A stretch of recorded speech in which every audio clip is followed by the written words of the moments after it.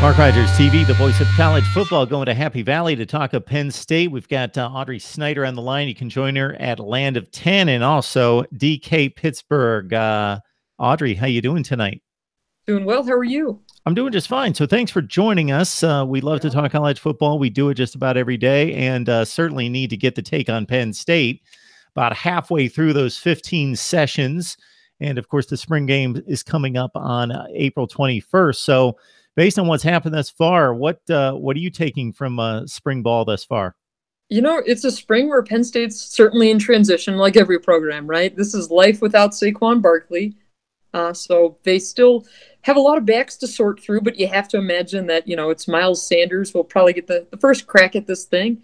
Um, and also, really, the storyline so far for this spring has been about five star Micah Parsons. Uh, Parsons came here early enrolled, and now it's a matter of, you know, they started him out at the Mike linebacker spot, and then just this week they moved him outside to the will. So this team has major needs at linebacker, um, and Parsons will look to fill one of those spots, um, but right now he's working at the will.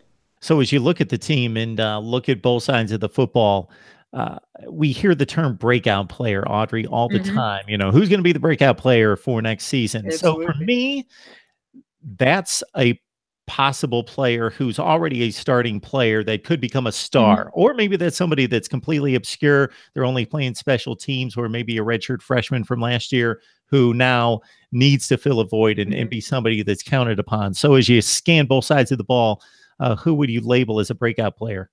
Offensively, uh, it's been slot receiver KJ Hamler. He's a guy who took a redshirt last year as a true freshman, a highly touted kid when he got here, uh, and he can really fly. I mean, that's the speed there. Uh, that's the position where he and Brandon Polk are both vying for time. So Hamler's been the guy who's impressed. Uh, he's somebody that James Franklin has highlighted. He's somebody that teammates have also highlighted uh, for making some pretty big plays. So KJ Hamler will be a guy to keep an eye on heading into the spring game.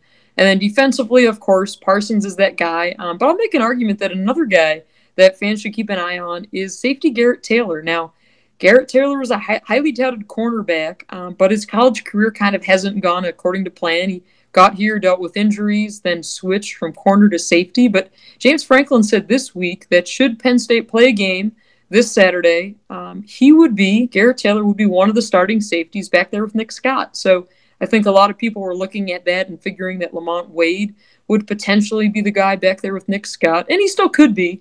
Uh, but for the time being, Garrett Taylor is is that guy. Now, Taylor with 12 tackles last year and a pick, mm-hmm. would he be a safety in the mold of a Marcus Allen, of course, a star player and leader from last year? I don't think anybody that they have is going to be in that Marcus Allen mold. Um, just because you look at the physicality there, I mean, if anybody long term, maybe Lamont Wade could be that guy. Um, but from their options right now, um, I don't.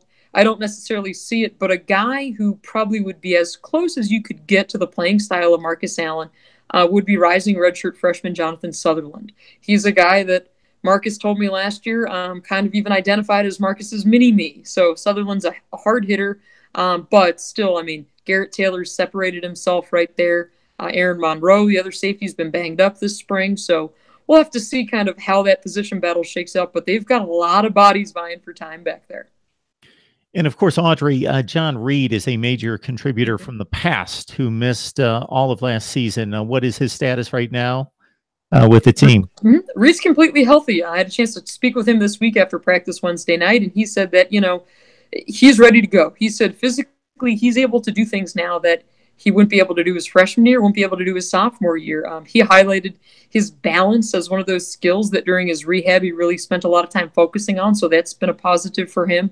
Um, now, of course, it's spring ball, so they're being smart with him. There's no need to go out there have him run around like crazy. Um, but he's a guy who said he's fine, and Franklin said it as well that if if there was a game this weekend, uh, John Reid would be out there playing. So that's you know a huge boost when you look at that secondary. A lot of people say, well, you know, they're losing so many bodies back there, but the flip side, the positive of that injury is that uh, Amani Oruwariye is going to be the guy back there with Reid. He got a lot of valuable time last year, made some big time plays. So now you add John Reid back into it, um, and I think the secondary ultimately could be a strength of this team.